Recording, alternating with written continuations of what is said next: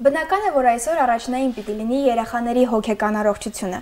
Պատերազմը արդեն չափազանց շատ է խլել նրանցից եւ այսօր մենք չենք կարող թույլ տալ, որ այն խլի նրանցից նաեւ իրենց առողջ ապագան։ Իրականում արցախցիները հետ պատերազմյան այս երկար ու ծանր փուլի հետ երրորդ անգամ են առնչվում։ 90-ականներին պատերազմից հետո մեզ կրկին օգնության էին եկել հոգեբաններ, բարեգործներ եւ պարզապես հայրենասեր մարդիկ, որ փորձում էին աշխուժացնել կյանքը բնականon հունի վերադարձնել։ Եվ կրկին մեծ խնդիր կար վերականգնելու ապաստարաններում իրենց մանկությունը անցկացրած երեխաների եւ հոգեկան եւ ֆիզիկական առողջությունը։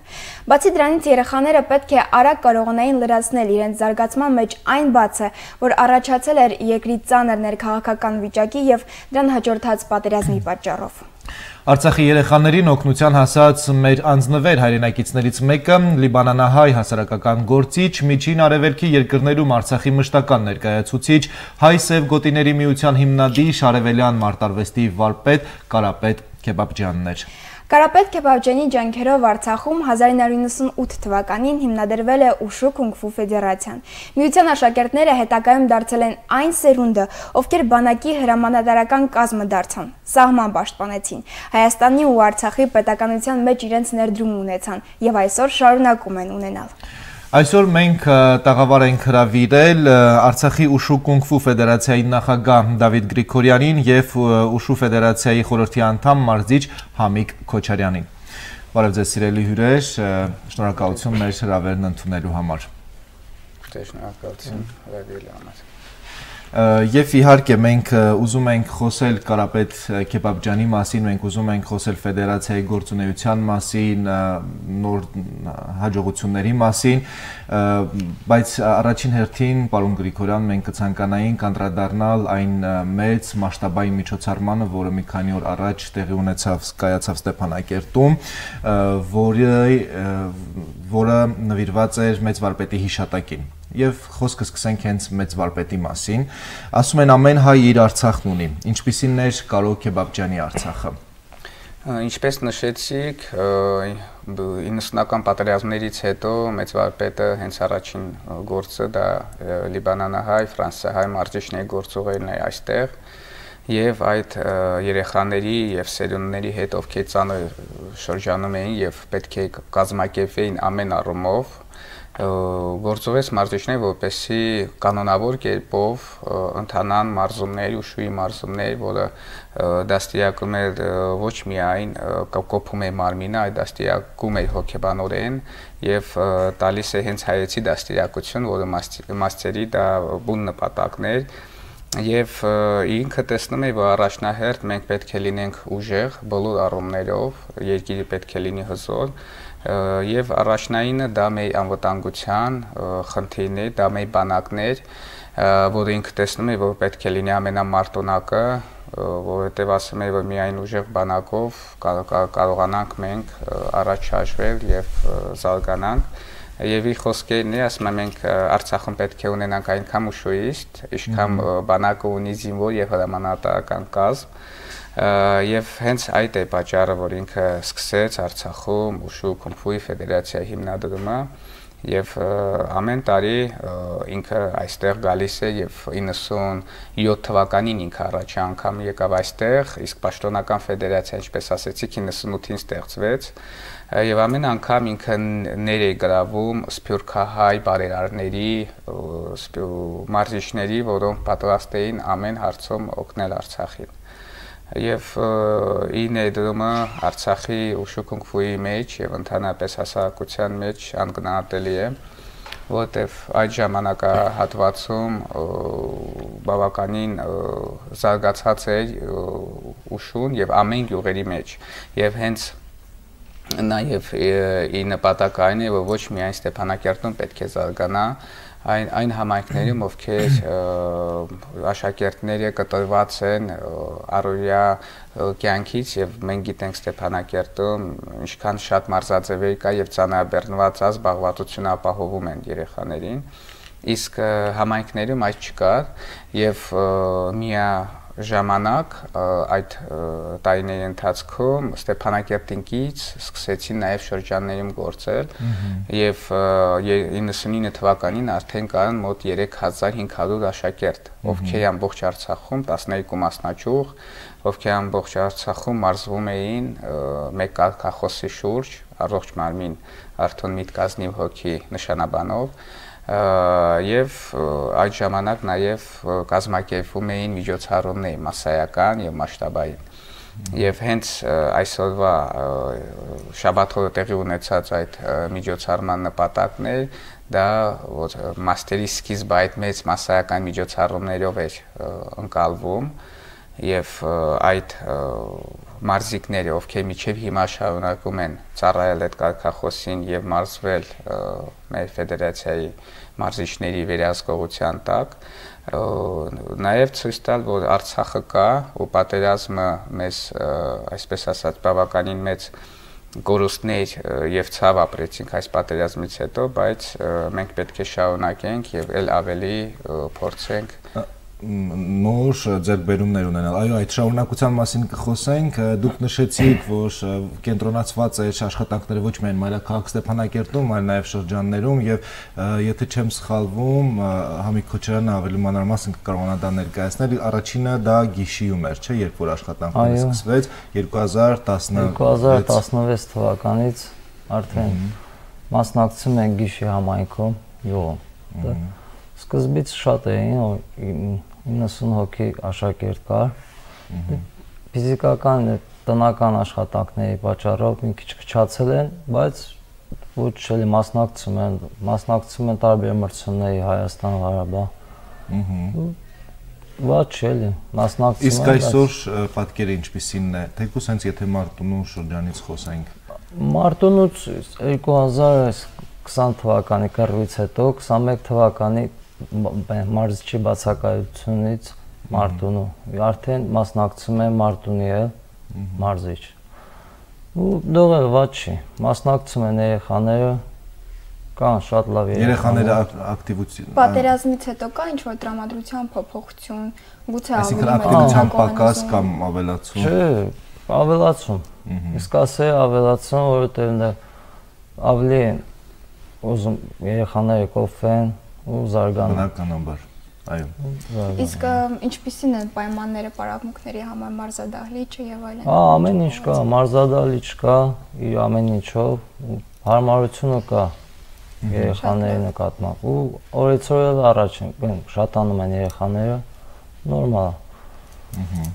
Շատ լավ։ Եվ շարունակենք խոսքը թերևս մեծ վարպետի մասին։ Վարպետ Քեբաբջյանը փաստորեն իր գործնեությամբ միջև իր կյանքի վերջին օրերը Արցախի կողքին էր։ Եվ երբ դիտում ենք նրա հետ հարցազրույցները, իմ մոտ զգացողություններ առաջացել, որ երբեմն նա արցախցիներին ավելի շատ է հավատում, ավելի շատ է հավատում Արցախի ապագային, քան մենք ինքներս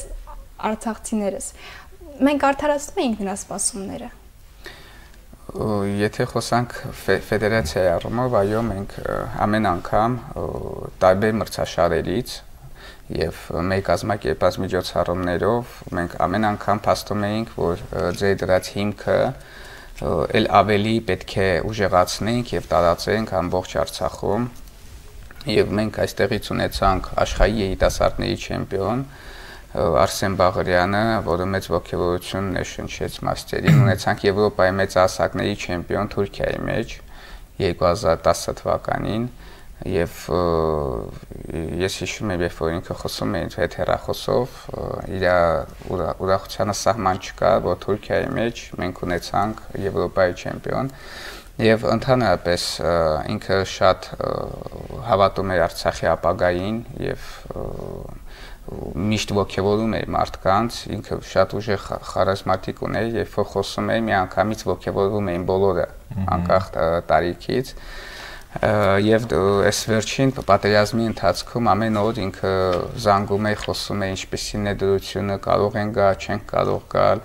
եւ իրենց գալը հիմիկվա վրա ինչքան է կարևորված այստեղ լինելը եւ ամեն անգամ ինքը ապրում է Արցախով է ապրում հենց ինքը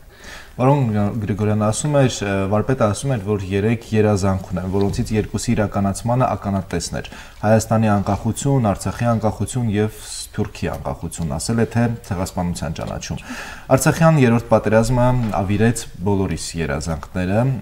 վարպետը շարունակում էր հավատալ Արցախին, շարունակում էր հավատալ մեր հաղթանակին եւ այդ օրերին, այդ ժամանակահատվածում ինչպես էր նա խոսում, ողքեվորում ճիշտ ասած պատերազմից հետո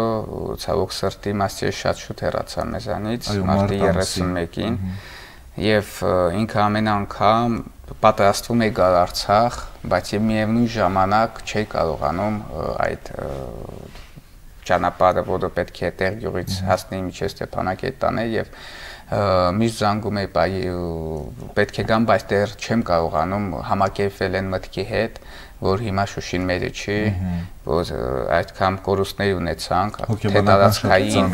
այո, թե տարածքային, թե մարդկային կորուստների հոգեբանորեն ինքը շատ ծանր վիճակում է եւ ես կասեի, որ իր նման ֆիզիկապես եւ մտավոր ուժեղ կարողությունների մարդը ինքը այսպես հենց այս ցավը իրենց դիպեց որ հեռանա մեզանից։ Մեզանից հեռանա ֆիզիկապես, բայց արդեն առաջին հերթին ֆեդերացիան, ֆեդերացիայի բոլոր տարիների սերունդներն էլ իրենց գործով միշտ էլ կենթանի են պահելու մեծ վարպետին։ Ես համաձայն եմ։ Պարոն Գրիգորյան, հետաքրքիր է դուք ինչպես ընտրեցիք այս մասնագիտությունը, ինչպես ընտրեցիք այս սպորտաձևը։ Ասեցի 98 թվականից դա շատ massայական է, ես 2001 թվականից սկսեցի հաճախել ուշուի մարզումներին եւ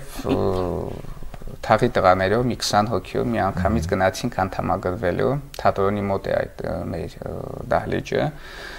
այդ ժամանակ եւ բոլորս գնացինք իրար հետ խոսելով որ լավ ամարզումների այնտեղ շապիկներ են բաժանում եւ այլն եւ սկսեցի մարզվել եւ տեսա որ տվյալ մարզաձևի մեջ ես ոչ թե միայն դա ժամանակ եմ անցկացնում այլ իմ մեջ ինչ որ կարևոր կետեր է փոխում այդ մարզաձևը հոգեբանորեն ես դառնում եմ ավելի պատասխանատու եւ այդ նշանաբանին վրա շատ մեծ ազդեցություն թողեց, որ ես չէի իմանում, որ մարմինը ոնց պետք է առողջ պահեինք, թե միտքը ինչպես պետք է մաքուր լինի եւ այլն եւ այլն։ Եվ այդ տարիների ընթացքում այդ կանոնավոր մարզումները եւ որ ես հասկանում եի, որ ամեն անգամ ամեն մարզումից հետո ես կատարելագործվում եմ, ես ինձ ավելի լավ էի զգում եւ դրա համար այդ տարիների ընթացքում այդ 20 հոգուց մի 3 շաբաթից հետո մնացինք 5 հոգի եւ 1 տարուց հետո մնացի միայն ես եւ դրանից հետո արդեն մաստերը տեսա որ մեզ այդ ժամանակ ճունեինք մեյ մարզադահլիճը ինքը նաեւ հենց մարզա դահլիճը առաջնային հերթը դրեց որ մարզադահլիճ պետք է ունենանք Եվ 2003 թվականին մենք արդեն ունեինք մեր սեփական մարզադահլիճը, որտեղ արդեն կարողանում էինք մարզվել թե առավոտյան, թե երեկոյան, ժամերին, այսինքն մեծ տրամադրության տակ էր եւ հենց այդ պատճառով այս միջոցառումների շարքը, որը տեղի ունեցավ, մենք նաեւ այդ վարպետի դրած փորձը եւ այդ մարզաձևի հմտությունները, այդ մարզադահլիճը մի քիչ ավելի լայն հասկացողություն եւ ավելի բացվածք տվեցինք եւ անվանափոխեցինք մեծ վարպետ Կարո Քեբաբջյանի Ուշու Քունգֆուի մարզադպրոց, որի հիմքը հենց ինքն է։ Այսինքն ոչ միայն մարզադահլիճը վերավանվեց, այլ նաև սպეციფიკան փոխվեց։ Այո, սպეციფიკան փոխվեց եւ քանի որ մենք ունենք բավականին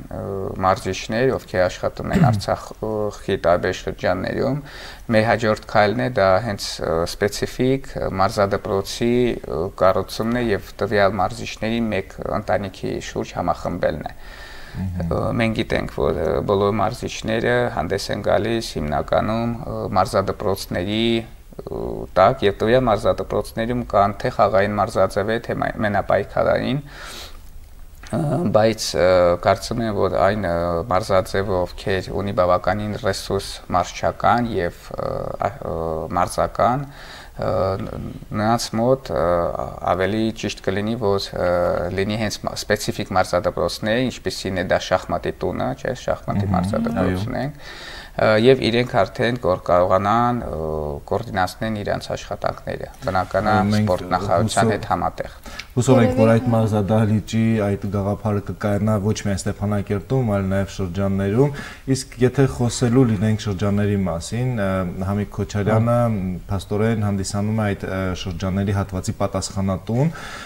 իսկ դուք ինչպես ընտրեցիք ուշուն եւ ինչպես ստացվեց, որ դարձաք շրջանների այդ ծրագրի պատասխանատուն։ Ես ճիշտ ասած մի քիչ ուշ սկսեցի 15 տարեկանից, բայց մասնակցեցի, բարակվեցի սկզբից, տեսա որ կարողանում եմ մասնակցա տարբեր մրցումների, Ղարաբաղ, Հայաստան, Ջազգային եւ այլն։ Ու բան տարիներ հետո արդեն պարոն Գրիգարյանը առաջարկեց ասես օրինակ գիշերում մարզչի տեղ կա, գնաս մարզից որպես ասի խնդիր չկա, գնամ գյուղը գյուղները զարգացնենք հա շրջանները։ Ու տենց գնացինք 2016 թվականից սկսեց գիշի բարապսնը։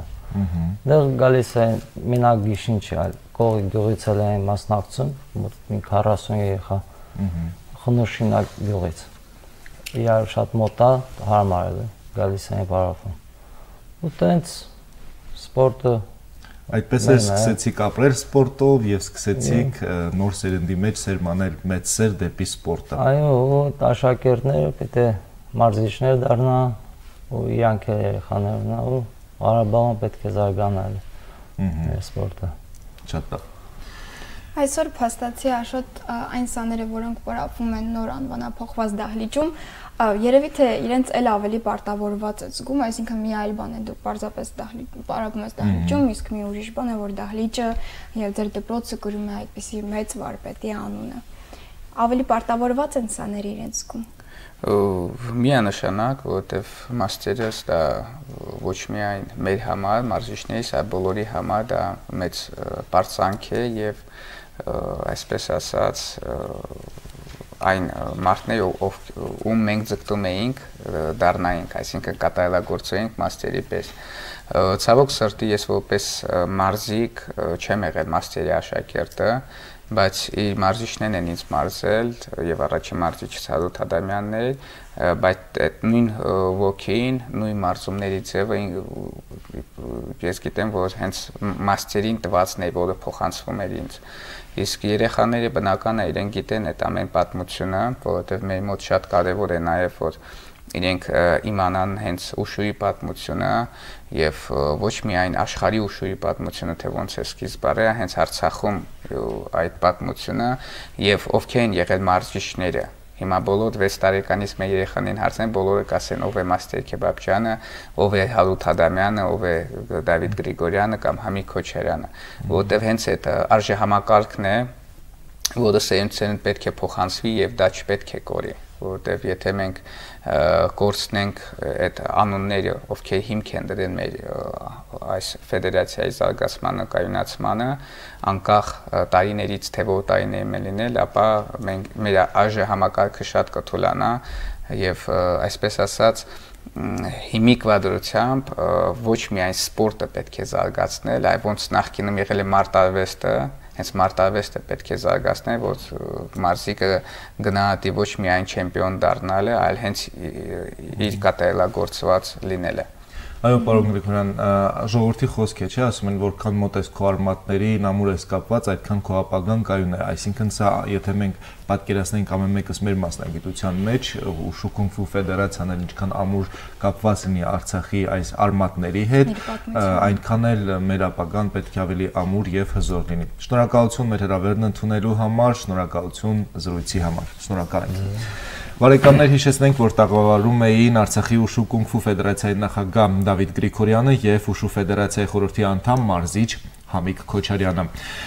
Կարապետ Քեբաբջյանի падգամները հավատքն ու հույսը շարունակելու են ապրել իր ցաների միջոցով։ Մուցը անիծելու փոխարեն մոմ վառեք։ Սա վարպետ Քեբաբջյանի խորհուրդն է։ Մնացեք խաղաղությամբ։